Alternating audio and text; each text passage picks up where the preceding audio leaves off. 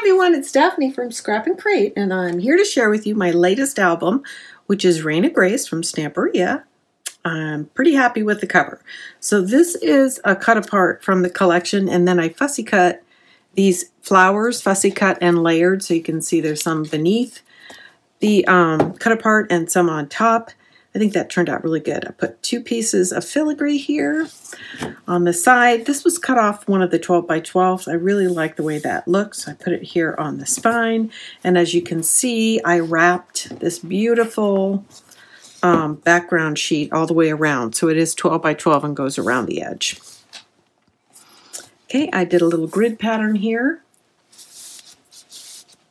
I've got a couple more cut aparts in here and then a nice big 7 by 7 insert. Each one of the pages has one of these large inserts. I did not have enough paper to cover that. So if you guys are interested in covering uh, these inserts, you're going to need to order a little more than what I put on the material list. Here we have our traditional waterfall. Oops, these are supposed to be tucked in here. Let me scoot that down so you can see it. I've got a, I fussy cut this, created a little tuck spot, and these are four and a half by four or finished four by four photo mats for a waterfall.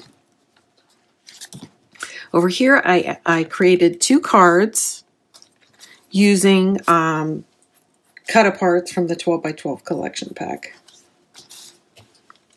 Okay, over here, I've got a nice flap and a very deep pocket. Inside, um, I added two inserts. One is 7 by 4 the other is 7.5 by 4 and then some additional cut aparts.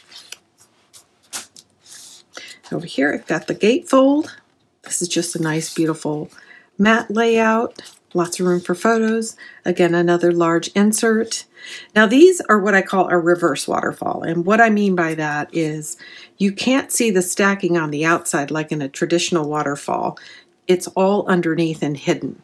So each one of these gets a little bit smaller. I, I did two right there. Okay, now I did both essentially the same. So this is a half inch shorter than that one, half inch shorter than that one. And I didn't have this more of this paper, so I just put this here. I left it open-ended so you could tuck a photo. Okay, and each one of these little um, one inch strips at the bottom are tuck spots on each of the pages. And then the largest flap down here, the 4 by 6 closes and keeps everything intact. So again, that's what I call a reverse waterfall. And then this is a nice 6 by 6 panel. So we've got a 6 by 6 mat here, and then this is, uh, mm, it's not quite 6, it's like four and a quarter by six. So this is made from an 11, this is five inches, I guess, uh, 11 inches, so six by 11, and I just scored it here. I just really liked this image. It was cut from the 12 by 12. It's not a cut apart, but I really liked it and wanted to feature it on one of my pages.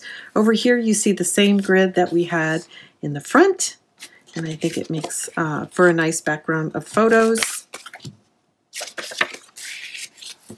And that is it for Reign of Grace, everybody. I hope you enjoyed. I'll be back soon with another album. As always, this is Daphne from Scrap and Create. I'll see you soon.